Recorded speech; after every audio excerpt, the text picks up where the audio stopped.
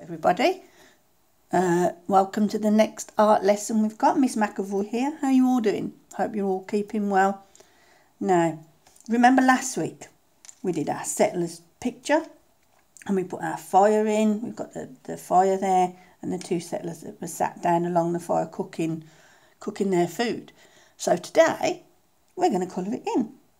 So today's colours, if you are using coloured pencils, Today you'll need a yellow, an orange, a red, a blue, a light green and a dark green, a brown, a light brown, and a dark brown or medium brown. And then we'll have a grey colour and a black. But as usual, we don't have to have those colours. Um, if you're just using your normal colouring, your, your drawing pencil or your writing pencil, then you can just use shades, can't you? You can press lighter for a lighter colour or press harder for a darker shade. So let's get started. Now, as usual, like when we when we paint it at school, we're going to start at the top and then slowly work down. So we're not going over what we've already done down here and smudging all our hands or our arms. So I'm taking the blue, I've got the blue pencil, look. So get your blue pencil and we're going to start in the sky. Now, what we're going to do first with that blue pencil, I think, is we're going to put just a couple of clouds in the sky. So I'm just going to draw a bit of a wibbly shape on the top and a flat shape on the bottom. There's one cloud. And I'll do a smaller one here, wibbly shape on the top and a flat shape on the bottom. Now, as usual, when we like just like when we're painting the sky, I'm gonna go from a left to right. I'll go over the top of that tree. I'm not pressing too hard.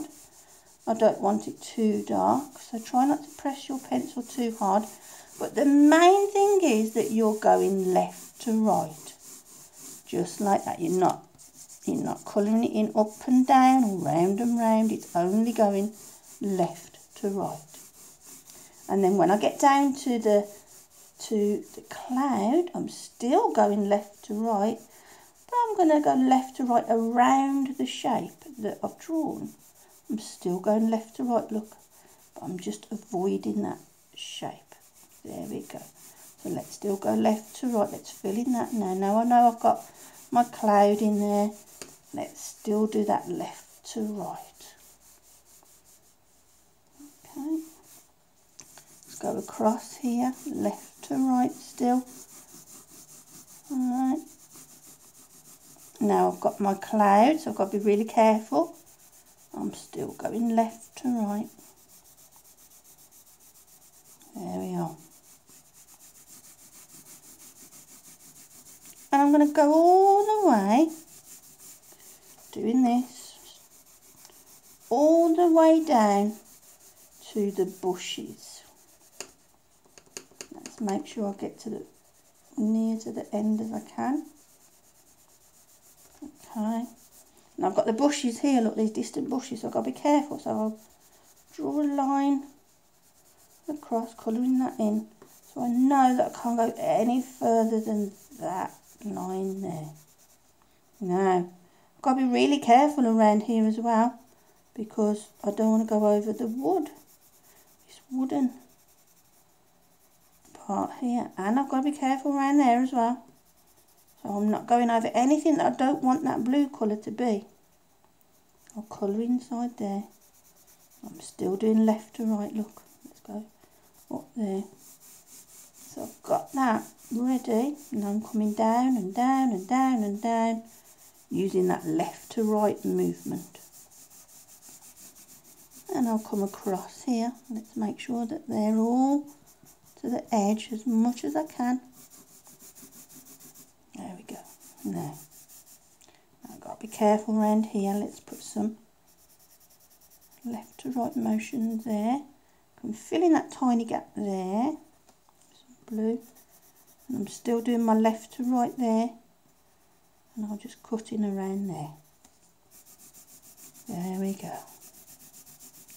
Now, so that's the sky done I'll go over it very gently so it's comes so you can see on your on the video. Lovely. Okay, so that's the sky done. Now, let's work on this background here, these bushes here. So the bushes, what I'd like to do, I think we're going to get a bit of the yellow and a bit of the brown and a bit of the dark green. So we've got three colours, the yellow, the light brown and the dark green. So let's make it a bit yellowy down the bottom. Put a bit of yellow in there. It could be autumn time. It might not be summertime, this picture. And autumn colours, you'll have yellows and oranges and light browns as well as greens. So let's now go in with my brown. And you don't have to go left to right when you're when you're putting this in. You can you can go slanted like I'm going in a slant. I'm not doing it up and down. I'm kind of slanting it. It's diagonal. Okay. And then let's get a bit over there. We'll put a bit in over here as well round by that person. Okay. Now let's get some green in. So I'm going to go to the to the dark green if you've got a darker green. If not, use what green you've got. I'm trying not to go over the brown or the yellow. I'm trying to go around the brown and the yellow.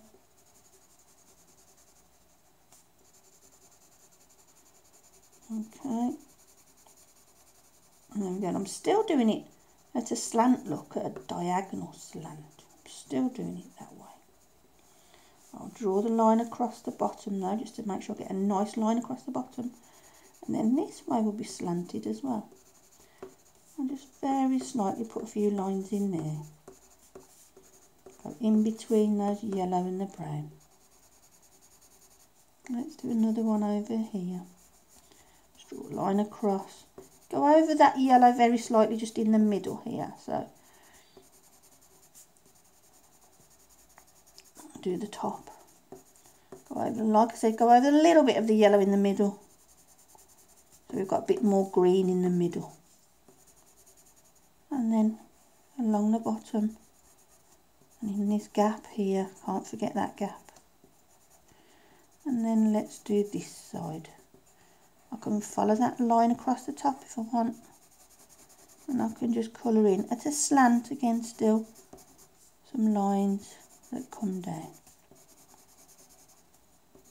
Alright okay so we've done that at slant at diagonal we've done lines that coming across for that but the distant hedges or bushes I'm just following that top line across to make sure I've filled in all the gaps. So all I've done there. Now,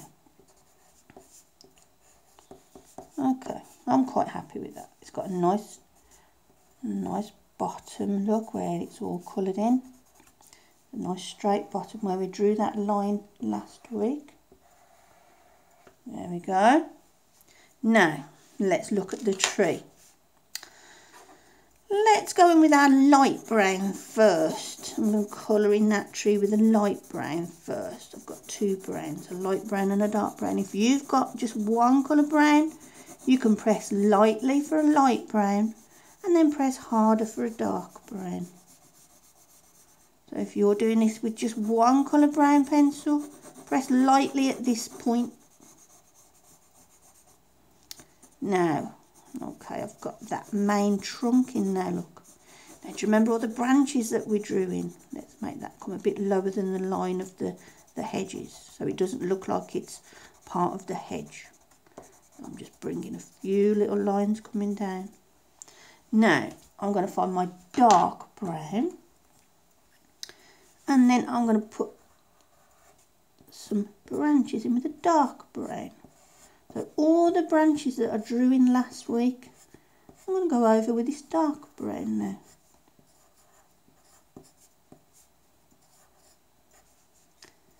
So let's get in all those branches.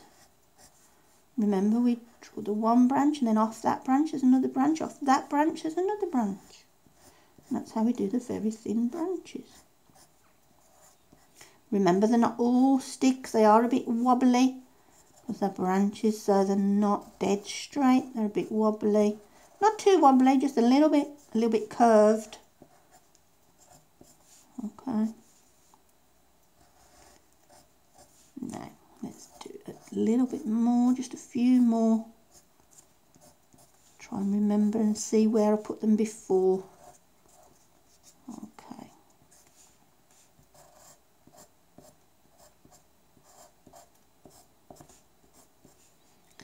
Do one more. There we go. Let's make sure they all join onto that branch. We don't want any that's hovering in midair. Now, now I've done those, oh, we've got another branch there. Look, let's do that. Now I've done that with this dark one, I can go over and make it look like it's, it's a proper tree bark by putting some wiggly lines in, look. Because we've got the darker colour on the top and the lighter colour underneath then.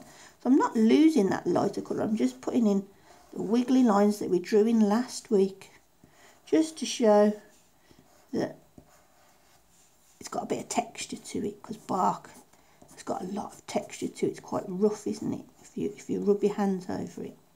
So it's got all lines on it. So I'm just putting some lines in. Look, there we go. That looks better now. Now, while I've still got that dark pencil, how about we colouring the wood on here? Because the wood here would be quite dark. I've got to be careful when I get to the handle because the handle goes over that wood. So I've got to miss out that handle part on the left hand side there. And I'm colouring in these parts here.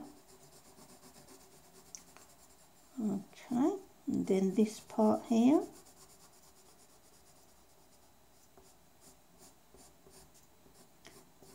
Alright, let's do this part here now. There we go.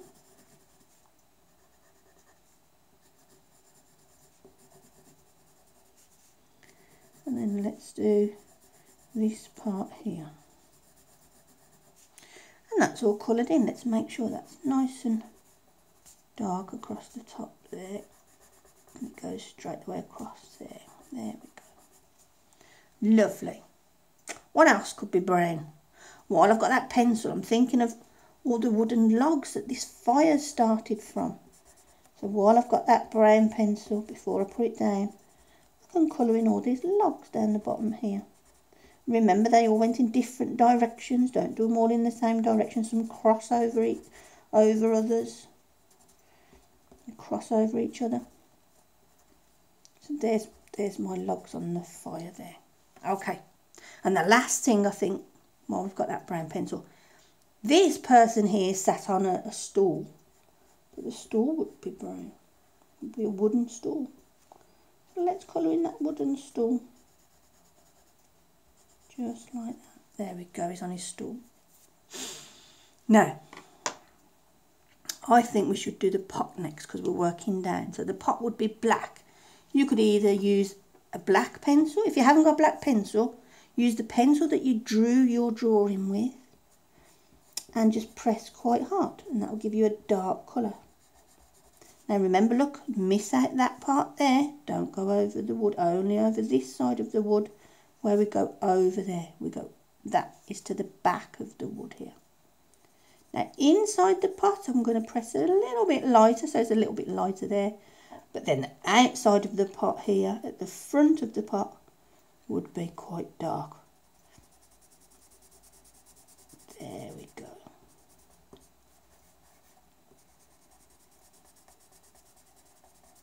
There's my pot.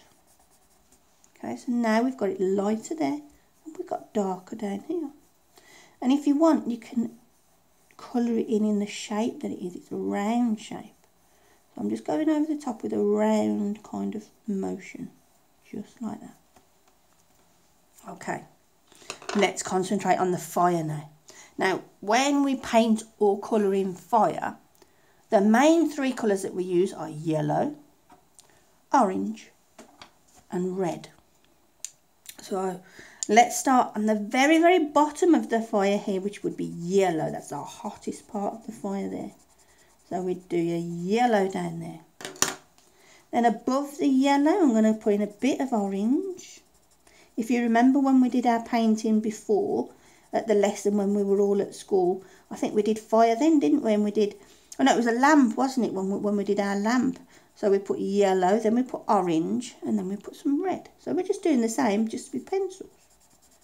So remember that the fire comes quite high up, look, so I'm putting a bit of red there. Let's go back in with a bit more orange there, this way you can mix it on the top if you want. You can go over the, the red with the orange, and then go over the orange with a bit of red on the top. So all the colours mix in together, you've not just got one flat colour in there. Let's get a bit more orange in that part there. And like I said, go over again with a bit of red there. There's that fire, that's looking good. I'm happy with that. Now, let's think about these people now, because we're working down again. So, if you have a orange pencil, what you can do is very, very lightly go over the face of the person. If you've got a pink pencil, you can do it with pink. But and his hands as well. He's got a hand. We can't see his hand there, so that's fine. But very, very lightly. Just I'm going over with my orange pencil. Now, the clothes. The settlers wore quite dark clothes, not like our clothes today that are really colourful. So I'm going to put some dark clothes on. So you can either use your pencil that you drew with, you drew the picture with, which is a grey, or you can use the black if you've got black. So I'm going to use this grey pencil for his, his top. No. Okay, so there's his arm. I've got to remember his arms there. Okay. We might lose his arm, but that's fine. I can get in a bit darker there if I do. Look, if I press a bit harder, I'll get his arm back. There we go. You can see his arm now. And on this side, again, I'll do this Maybe I might press a bit lighter this time on this side because we don't want it looking exactly the same on both sides. But again, let's make his arm a bit darker so I don't lose his arm in the, in the colour. There we are. Now, I've got some black. So I should put the grey pencil down. I'll go to the black pencil and I'm putting in his trousers. So his trousers will come up to there. Make them come a bit higher and I'm just colouring in his legs really that's all I'm doing. Not pressing too hard I don't want it too dark because I'm going to get the shoes a bit darker. Now let's do it on the other side. Let's get in his legs. There's his legs so then I'll just colour that in. Okay not too too dark. Let's get in this side okay Let's make his trousers come a bit higher up. There we go. Colour in a bit darker on the front leg. Press a bit harder. Now for the shoes, let's get in quite dark. So I'm pressing quite hard for the shoes. There you go. These shoes on this side. There we are. Oh, his hair. Remember that we did hair. Let's colour, in his hair a bit. This dark colour. And this hair, remember, it goes in the the other direction that you're looking in. So let's do this hair there. All right, so that, that part's done. Now, let's do the grass, the final part. Now, do you remember when we painted grass at school before? And it's a bit like in the hedge here. We started off with a yellow colour, didn't we? Then we went to, to a middle green. So I'm going to start off with a yellow colour. And again, remember if we do it a bit like in the sky, where if you do it left to right, that shows that the grass is flat. If you're colouring it in up and down, it might look like the grass is falling down and you're on a hill. So if we can do it left to right, that'd be good. Go as far to the edge and the bottom as you can and keeping it as, as level as you can as well. So let's do this left to right motion, just like in the sky, all the way down in between the stool. And we're going to go all the way down to the bottom. So we're doing this left to right, all the way down to the bottom. Fabulous. Now, I've got a light green. So I'm putting a bit of light green in over the top of the yellow So it doesn't look quite as yellow as it now with that light green over the top. But I'm still doing it in that left to right motion. It's exactly the same as in the sky. Okay. Now.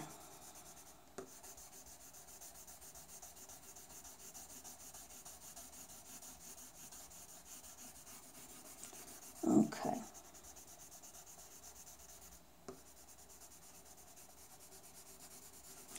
There we go. So I've gone all over the yellow with a light green. So it's not quite as yellow anymore. Now let's get to my darker green. If you're doing this with your pencil that you write with, what you can do is you can start off with a very, very light pencil. So hardly pressing at all. And then get very, very slightly, a bit harder. And then for this dark green that I'm going to put on now, you'd press a bit harder still. So you get three different pressures. You get a light pressure pressing on the pencil, a medium pressure, and then a hard pressure. Okay. But with this, I'm not going to go over it completely. Look, I'm just going to miss some bits out. I'll do a bit here, a bit there, a bit there, a bit under the fire it might be a bit darker, a bit over here, a bit over here. So I'm not covering it completely like I did with the yellow and like I did with the light green. I'm just going to do just a few places, look, where it's just a, a bit of a, a dash, a straight line, look. A straight line there, a straight line there. So can you see that you can still see that yellow underneath I'm not covering it completely. So a bit of a dash there, a bit of a dash there, a bit of a straight line there, bit of a straight line there, bit of a straight line there. So we're just getting little marks or long lines of this dark colour but it's not all over. And I think that that will do us for today. Oh, one other thing, I think we'll just do one last thing. With the grey pencil or a darker pencil, a black pencil, we could just maybe put a bit of a shadow underneath, underneath that person's bottom and underneath the, the feet there. We could put a bit of a shadow underneath the stool. So I'll just draw a line that goes straight across. And underneath his feet there, he'd have a bit of a shadow there. And all that is, is with that dark grey pencil or a black pencil and not pressing too hard. So it just gives it a bit of a 3D look. Look, so we've got a bit of a bit of a shadow there. So it's not. It doesn't look like it's floating on the grass because it is is is on the grass. Is anchored down, so it must have a shadow especially with the lovely blue sky we've got. And we'll just put a bit of a shadow underneath the fire as well. We'll put a darker colour underneath the fire as well. There we go. So that's our finished painting for this week. I think you're all doing fabulous. Your teacher's telling me how good you're doing with your work. So I'm really looking forward to when we can all see each other again. And you can show me what you've done. You can show me these pictures that we've been doing together. So until next week stay safe stay healthy and stay smart. And I'll see you again. Bye bye